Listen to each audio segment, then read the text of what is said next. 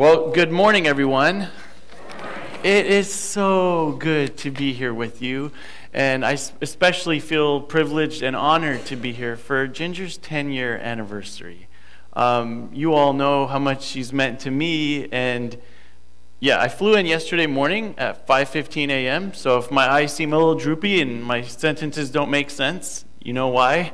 Um, but this was like, I wouldn't miss this occasion for anything. And so, um, you know, thanks to Lori, she's like, no, you have to preach. So, um, and also we thank Ginger because um, she worked hard on a sermon, and so you all will get to hear that probably next week. So. I also, and I think we can all agree that we're here, you know, to celebrate Ginger as our pastor for the last 10 years, but also Dean. Um, how much has, yes. I remember Bob Harrison saying to me a while back, we really get a two for one deal here. And, uh, and it is true. And just how much, uh, I realized this more after I left, how much Dean's presence means to, our, to this church and also just how much he supports Ginger. So um, when I think about my time working with Ginger, there's like so many stories that I can tell. Um, the one that's coming, the one I put together for this morning has to do with a workout contest that we had.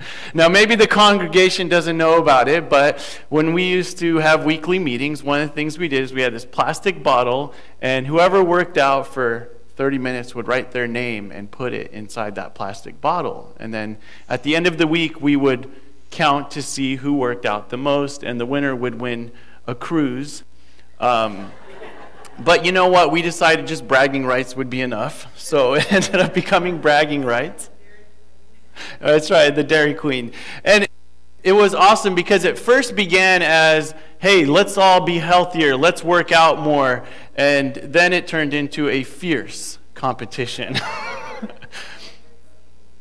That's right. It was Andrew Min and Sandy and myself and Ginger and you know, you had to basically work out and for 30 minutes and then you can put something in the bottle. Well, I remember one time someone had more than seven days of working out in one week. or the other time when they said, you know, walking to your mailbox doesn't count as exercising for the day. And so, um, working with Ginger has just been full of so much humorous times and uh, so many special moments. And I also, when I think about my time with Ginger, I also think of the risks that Ginger has taken. Um, throughout her time here at First Pres Duncanville, Dub mentioned it in the beginning. So many of us find ourselves doing things we wouldn't normally be doing. And when I think of Ginger's time here, I think of the Festival of Hope. I think of all the community outreach. I think of how these services have transformed.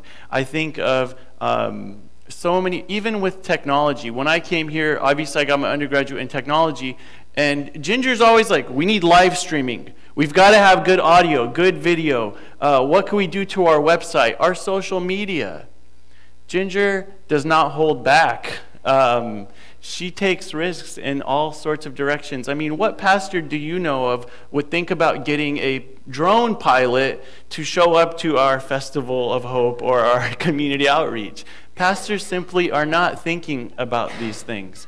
And so to be able to work for Ginger has been one of the hugest highlights of my careers. Now, there is one risk that Ginger took that I thought, uh oh, we're going to be in trouble for this one. One of the biggest risks I saw, and I think when I tell you it, you'll have the image in your head, but it was one where I thought, oh, like, what's going to happen here? And I, I have this vision in my head of Anna Murphy standing on the roof for our. for our Christmas carol event, saying, Behold, the angel of the Lord is here and the wind is blowing, and we're all thinking, Behold, I hope she doesn't fall down. you know? And it was cold, and Anna Murphy was our angel. So that's one of the characteristics of Ginger's leadership, just pushing forward, taking risks, and I think that we can all agree those risks have made our lives significantly better. Um, and again, I am going to actually preach a sermon today. It's John chapter 6, verses 20 uh, through 40, 22 through 40. And I said to Lori, how about if we just have all the people that have worked for Ginger come up and work with Ginger and just say a few nice words? And Lori, of course, said, no, you need to prepare a sermon. so, so what I want to do in our sermon is John chapter 6, verse 22 through 40 is I want to highlight what Jesus is doing in the text and correlate that to the leadership traits I've seen in Ginger. Now, I was hanging out with a friend last night, and I told him about how I was going to be talking about the way that Ginger has led and how it corresponds with how Jesus carried himself and some of Jesus' actions. And he said, Well, aren't you putting her on a pedestal? And isn't that a lot to say about someone that they lead like Jesus? And I actually, I said, No, that's what Jesus told us to do. You know, Jesus says, um, that we are going to do greater works than he has done. And so we, as a community, have done and uh, greater works with the things like the Festival of Hope and the, all of the singing and all of the music and all of the storytelling and all of the live stuff that we're doing. So, along with that has been Ginger's leadership and what she has brought to this church. And so let's go ahead and read through the passage. I did not have a PowerPoint, so we're going to be doing it the old fashioned way, and I will be reading scriptures and then talking about them. So in John chapter 6, verse 22, it begins. This is right after Jesus has uh, fed the, the crowds. And he, this is right after he has walked on water and he's done these amazing miracles. And there's crowds and crowds of people who are coming after him to hear him speak and to touch him and to be close to him. And in verse 22, it opens with this. This is after all of that work. It says, The next day, the crowd that had stayed on the opposite shore of the lake realized that only one boat had been there, and that Jesus had not entered it with his disciples, but that he had gone away alone. Jesus, while he was in the thick of his ministry, while he's in the thick of doing all these amazing things, gets on a boat and he goes away alone. One of the things that Jesus knew how to do better than anybody was manage himself. He knew when he needed a break. He knew when he needed to get away. He knew when he needed to turn things up because he's doing all kinds of stuff and then get away and hit the reset button. And one of the things I've seen with Ginger's leadership over the last 10 years here is Ginger knows how to manage herself. I've never seen Ginger go too high or go too low. She is the a consistent leader, um, and she has a motor. I remember, like, she manuscripts every one of her sermons that come out every week. And she lo- absolutely loves what she does here. Just such a hard worker, great attitude. Right? I, I, when I worked with Ginger closely, like, she always had a positive attitude. She's always looking forward, not too high, not too low. And so she knew how to manage herself. How many of us work with people who don't know how to manage themselves? And so when they show up to work, we automatically know, like, oh no, they woke up. Charlie's got his hand up real high, and he's pointing, and he's pointing to Lori. So, um, but we all have those people we've had to work with who just simply didn't come prepared, or were were extending themselves beyond what they could extend. And then we have those people who knew how to manage themselves. And that's one of the things I've learned so much from Ginger is she knows when to take a break. She knows when to take time for herself and refresh and come back. And she's always excited about the work that we do here. You know how many pastors struggle with that? How many pastors struggle with taking time to refresh themselves? They're so into the work of the church that actually they hold the church back because they didn't take the time to recalibrate. And so I think that's one of the ways we get all kinds of new amazing ideas here year after year after year of like what is going what's going to happen this year because Ginger takes the time to refresh herself and to do the things that she can do to to follow in Jesus' footsteps who when he led he said, "You know what? I'm going to go on a boat alone. Get away from everyone." And so in this passage, he gets away. And then in verse 23, it says Then some boats from Tiberias landed near the place where the people had eaten the bread after the Lord had given thanks. Once the crowds realized that neither Jesus nor his disciples were there, they got into the boats and they went to Capernaum in search of Jesus. And when they found him on the other side of the lake, they asked him, Rabbi, when did you get here? And Jesus gives them this stark response I tell you the truth. You are looking for me not because you saw miraculous signs, but because you ate the loaves and had your fill. Do not work for food that spoils, but for food that endures to eternal life, which the Son of Man will give you. On him, God the Father has placed his seal of approval. Then they asked him, What, what, what must we do to do the works God requires? And Jesus answered, The work of God is this to believe in the one he has sent. Ginger's actions over a 10 year period have always been about building God's kingdom. What we see in this passage is people are so excited about what Jesus is doing and they want to eat more food because they're hungry or whatever. And they go out and they search for Jesus. And what Jesus does is he gets to the motivation. He says to them, You're not here because of the bigger thing that's happening. You're here because you're focused on getting more food or these miracles. And when I think about all of the things that have happened at this church over the last 10 years, I think about how they've been rooted and based in growing God's kingdom. How this church has been doing the ongoing work of loving its neighbors, of reaching out to those who are oppressed, of reaching out to those who don't know Christ and sharing Christ, of holding of, of keeping the doors wide open for more and more people to know Christ. People from all different walks and backgrounds. You see, for these folks in the first century that saw these miracles that Jesus was doing, they got super excited about what they were seeing the food and the miracles and all that. And Jesus wanted to make sure that they didn't miss the deeper motivation. You see, it's when you have the right deeper motivation that all the things that you do, all of the work that you do, all the effort that you put forward, it comes from this beautiful place. And that's what we see with Christ is that he wanted to make his father's love known to the world.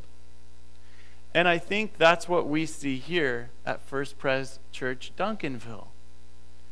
I remember there was these three girls who um, we would pick up from from the part of town that a lot of people might stay away from, and we would bring them here on a regular basis. And I have to tell you, you know, Sharon Ingram, for example, she knows where all these different kids live. And Sharon is, you know, all about that. But then there's Ginger who pushes all of that, who, who's behind us, who's supporting, who's looking out for those kids. And that's, to me, been one of the most amazing things about her ministry here. Um, I remember, you know, that was a point of emphasis. Hey, We've got to figure out a way. If these kids want to be here, we've got to figure out a way to bring them here. See, the motivation is in the right place. It's about love, it's about service, it's about giving your life to something bigger than yourself. And you feel that when you're here during the services. Even this morning, as we've been singing through these songs, I'm reminded of how there's a bigger thing happening here. We're here to truly worship God. Jesus says, Don't work for food that spoils. And I'm reminded of the opportunities that so many of us who have worked with Ginger and the elders and the leadership here have been given to work for food that does not spoil. Because as we will find out some point, when life is over, are we going to be concerned that our bank accounts didn't have enough money in them?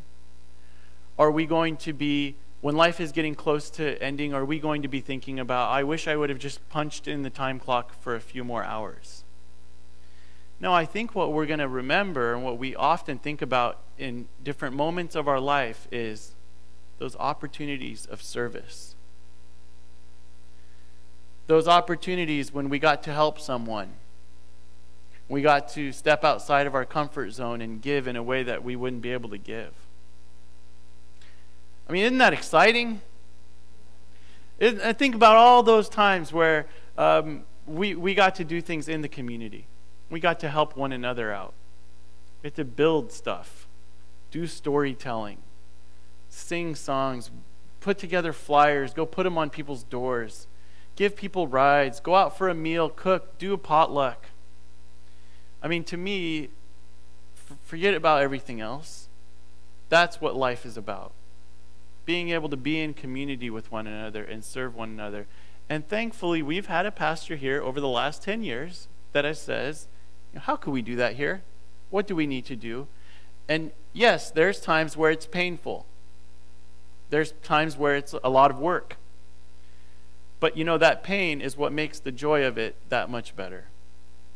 You know, C.S. Lewis said, the pain now is part of the joy then. And so that's what I sense has happened here.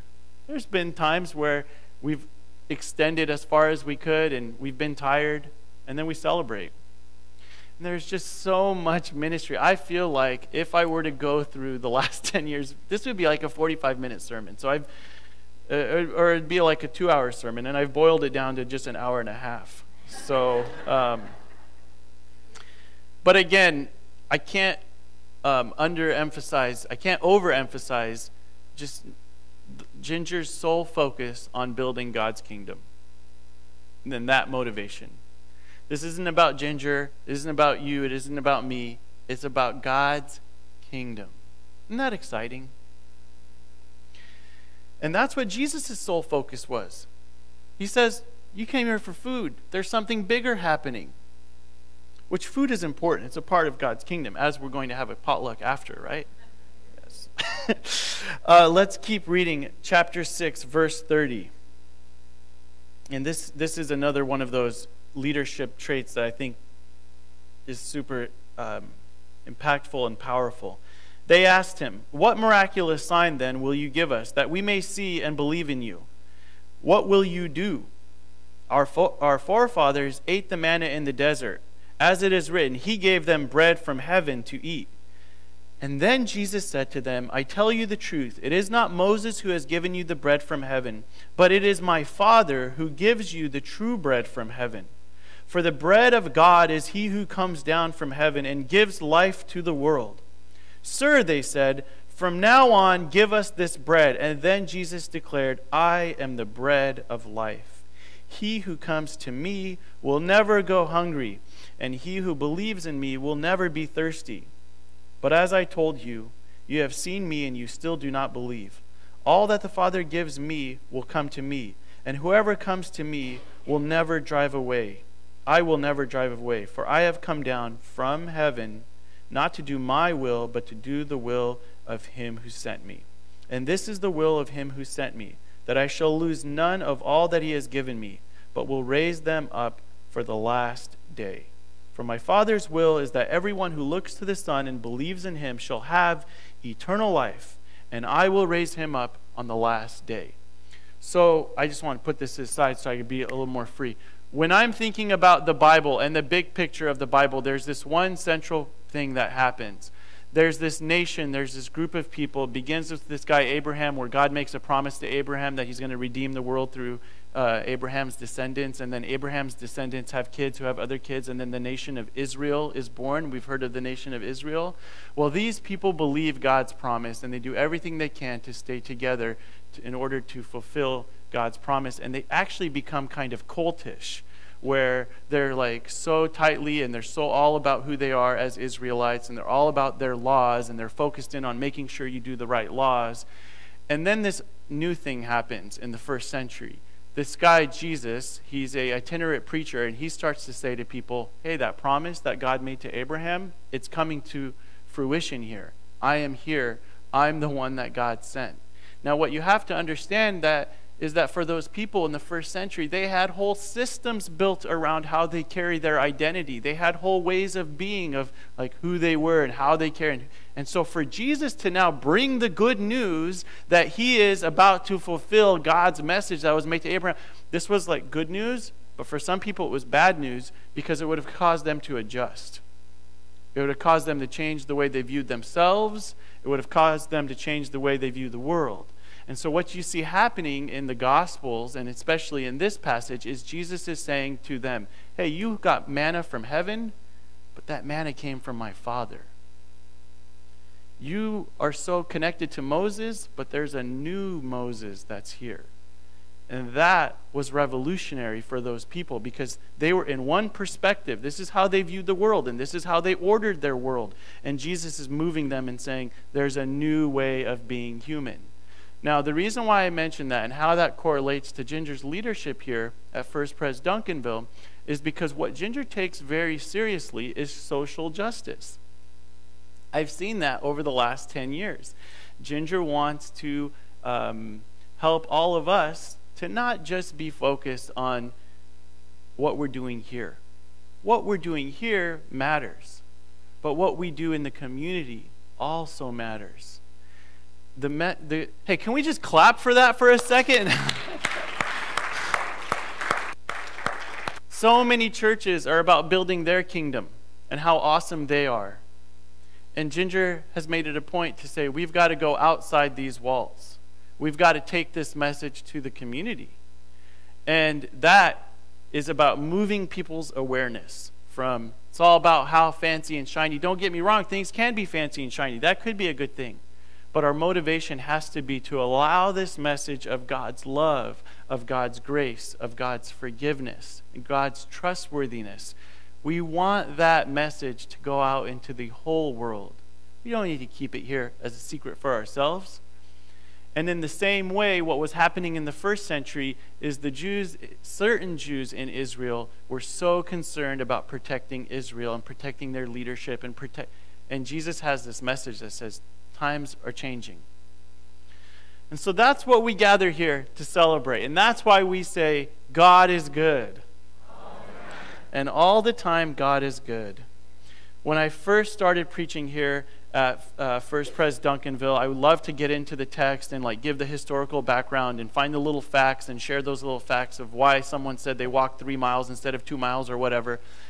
And then I would chat with Ginger after the service or after the next day to get feedback. And I remember one time, Ginger, I said, I said, I really, I'm, I'm young and I'm just out of seminary and I'm nervous because I just want to give people like the Bible study side of things.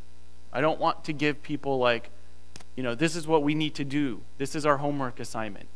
And Ginger, of course, is opposite. She brings the scriptures, she brings the word, but then she gives us actions, action oriented. Um, year after year, what are we doing?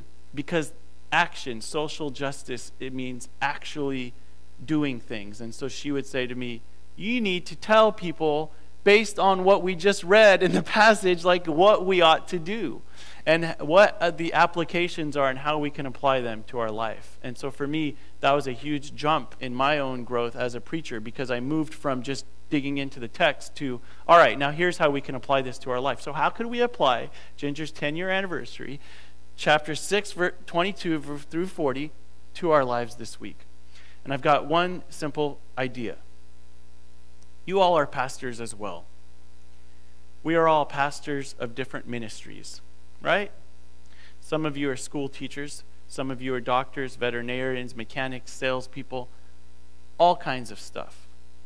We all run our own little church. Doesn't meet here at First Pres Duncanville. It might meet, you know, somewhere else around here.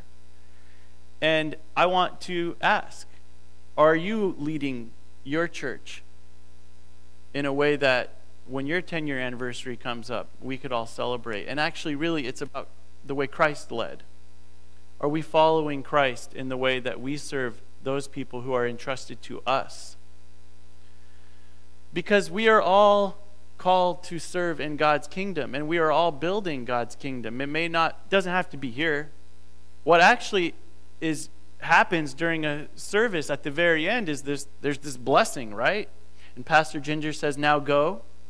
And that now go means it's now go and be a pastor out there. And so I guess I want to encourage you and I want to challenge you to ask, you know, on these three things are you doing a good job at managing yourself? Are you doing a good job at saying, you know, I need to take a break? Or are you being honest that I'm not working hard enough? I haven't done enough. I've been taking too many breaks. See, I don't know the answer to that question. You know it for yourself. But what I can confirm is that when we follow Jesus' example and we do manage ourselves and we go out on a boat alone or we go out and we do the work that we need to do, it leads to greater health and wellness for ourselves and it truly brings God's loving heaven to earth.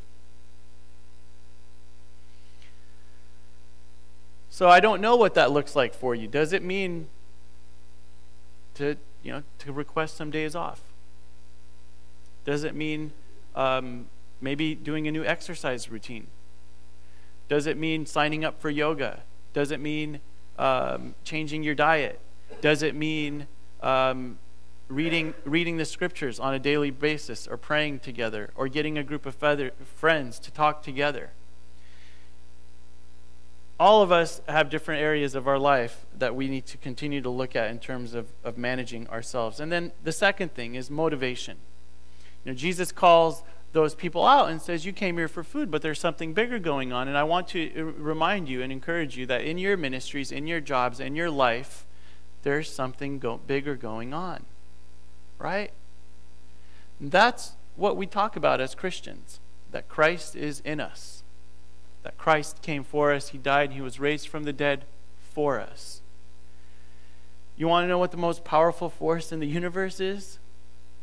It's the Holy Spirit that's in you. And so that is available to you. Aside from your circumstances, aside from your financial situation, aside from your health, aside from your relationships, there's this incredible, powerful force within you that you already have. You all it's already within you. And so the motivation for us to manage ourselves and to give in our ministries is not so that we can get back because our ego needs it. No, it's because we already have it. And Ginger's probably going to hate this because we're, I'm just complimenting her, but it's true.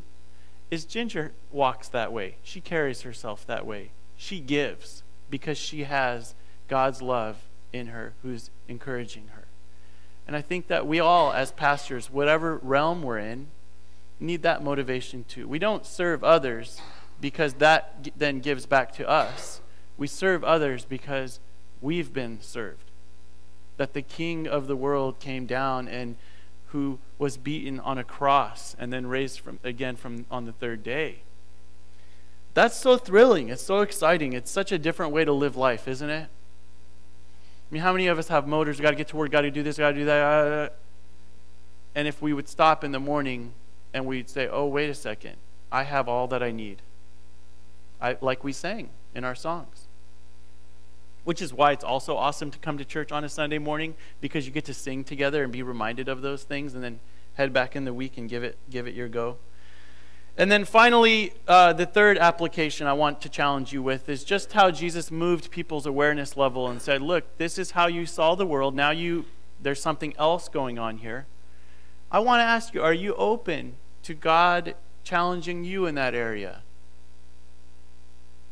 You know, sometimes God like tries to get our attention and it comes in the form of like there's some confusion and we just ignore it. Or we feel some pain and we just ignore it. Or but actually, those are kind of God tapping on our shoulder saying, hey, there might be something else going on here. Something else for you to consider, something else for you to give your time and life and energy to. And so I want to challenge you with that. Is there an area in your own ministry where you've become localized, where you focus so much in one area for so long, you're missing other areas that you could be you know, growing and changing and morphing and transforming the world. So, my friends, you are a pastor, and we are so blessed to have had Ginger, and we'll have Ginger for as long as God will have us all here. And I'm enjoying life in California, so. um, and I've been preaching a lot at different churches in California, which is a lot of fun. And I'm, I'm in the process of just getting engaged to one of the churches. No, not to a woman. I know that's what everybody was thinking about. Um, it's kind of like you have the money to buy the ring, but you haven't met the right person. That's my phase in the in the in the, in the ministry. I've been uh, call, uh, certified for a call, and you know people just keep hanging up the phone. So um, no, I'm just teasing. I'm just teasing. yeah, no. Um, I got a question. What does the next ten years look like? Yeah, more ginger, but also for yourselves. You know, and I know. Um, what does the next 10 years look like for you to be the kind of pastor who's consistent, who's motivated from the right place, and who's growing and moving? And by the way, I know all of that is hard, and it's like that's a lot of pressure. It is a lot of pressure, and you know what? God's grace is there with us. And that's why we have each other as a community to grow, go on this amazing, wild journey where we're awake to what's happening around us and we're trying new things and we're pushing ourselves as far as God would want us to go. Amen? Amen. Amen. Let us sing together.